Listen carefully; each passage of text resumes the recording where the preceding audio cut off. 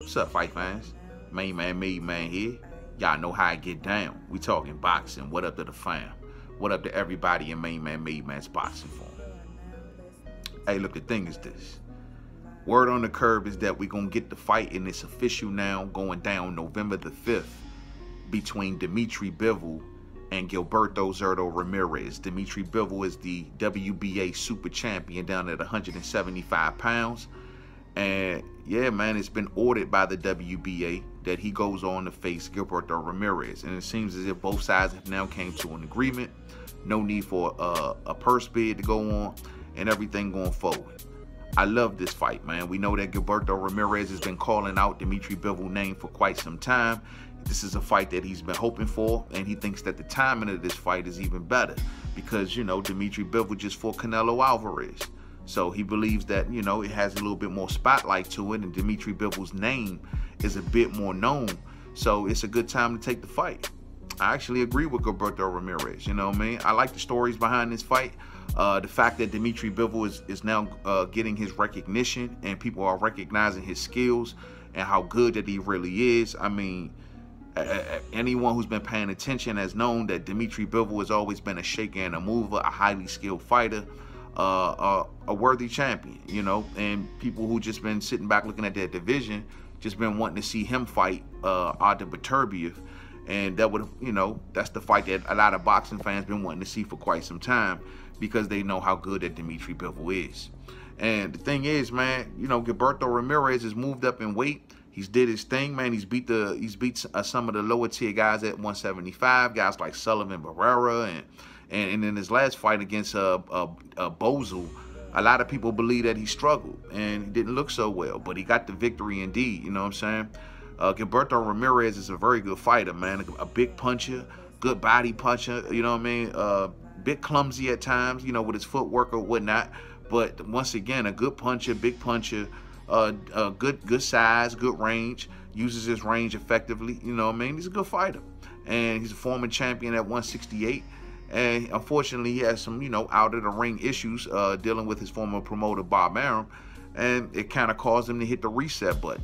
He hit the reset button, fought his way back onto the ring uh, to, to better names. And now he's aligned with Oscar De La Hoya and Golden Boy.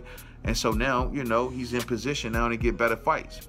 And he's been wanting fights like Dimitri Bivol and fights like uh, Beterbiev. And he's been saying names like even David, um, uh, David Benavidez. And, you know, he sparred all of these guys. They all sparring partners. Even uh, Dimitri Bivol and Zurdo Ramirez, they're sparring, they were former sparring partners, so they're very familiar with each other. It's to be a good-ass fight, dog. It's to be a real good-ass fight. You know what I mean? I'm really looking forward to it. I think it's a very 50-50 fight. Um, uh, I think a lot of folks may favor the skill set of Dimitri Bivol, and he's a very skilled fighter that he can move and he can he can uh, uh, change the angles and dictate pace and be a ring general in there, make you miss, make you pay. Uh, does a lot of good things well. Um, but of course, uh, his criticism would be against him is a lot of people don't see him kind of step step on the gas much. Like if he has someone out on their feet or if they're hurt, uh, he's not a you know a finisher. He's a more of a let the knockout come to him kind of guy. You know what I'm saying? As opposed to kind of going after it and going getting it or showing a mean streak. And some people believe that can be a difference against a fighter like, say, Zurdo Ramirez or, or either a fighter like uh, Artur Beterbiev. So we'll see, man. I always betted on Bivol, man. I always thought Bivol was a really, very good fighter. But I think Zurdo is a very good fighter as well. And I think he has things that can kind of nullify a lot of things that Dimitri Bivol does such as Zurdo Ramirez is a very, very big puncher, fight fans. Don't underestimate that. Like, he can punch, you know what I'm saying? Look at his knockout ratio, man. He He's stopping people, you know what I mean? And his power has translated through weight classes. Uh, the thing is, he could take a punch as well himself. Like, he could take a licking and keep on ticking. And so to, to, to get into a fight with him, into a firefight with him, would be very, very dangerous because he can definitely, definitely crack. He has a, a bit of an equalizer, if you will. He's a southpaw, you know what I'm saying? Uh, southpaw that can fight rangy if he needs to. And when he gets up on you, he's down for the war to fight on the inside. Zurdo is a, a, a, a, very, very good puncher. I mean, and that's the that can change the course of a fight at any given time. And he's full of heart. Uh, he wants to fight. Um, that's that's big. You know what I mean? Just as much as Dimitri Bivol can move, uh, Zurdo is a very, very good body puncher. Um, Zurdo's body punching is is, is solid. He, he throws those powerful right hooks to the body. I mean, he sinks opponents with those things, fight fans. So it, I think this is going to be an interesting fight once again. And, and I, I, I have noticed that honestly, just to be honest about it, uh, the, the previous call outs from Gilberto Ramirez kind of went unanswered um, by Dimitri Bivol. I mean, maybe Bivol had other things to do, whatever the case may be, but Zurdo wouldn't been on his trail for a minute, man. He been wanting this fight and thirsty for this fight for a minute, you know what I mean? So now he got it. He got it ordered by the WBA. You know what I'm saying? Everybody did the good deal. This gonna be a good ass fight. November the 5th, fight fans. And then it's going down in the UAE. Shit, that's crazy. It's going down in the Middle East. They buying all the fights out there, man. You know what I'm saying? That's where the money at, man. Hey, Crawford and Spence should have got out there. You know what I'm saying? But at the end of the day, man, this gonna be a good ass fight. You know what I mean? May, may the best man win. I think it's 50-50 fight.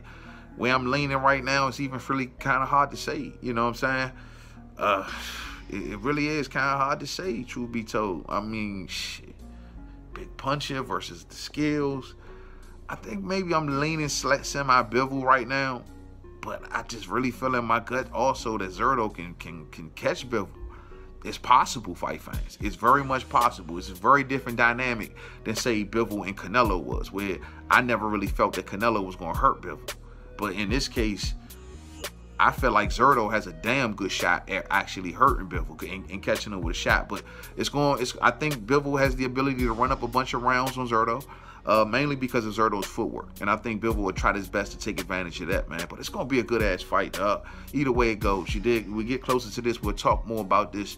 Uh, on a live stream. I've already got another video about this fight on the channel, kind of breaking down the styles and uh, breaking down the fight game. Y'all can check for that, man. It's on the channel.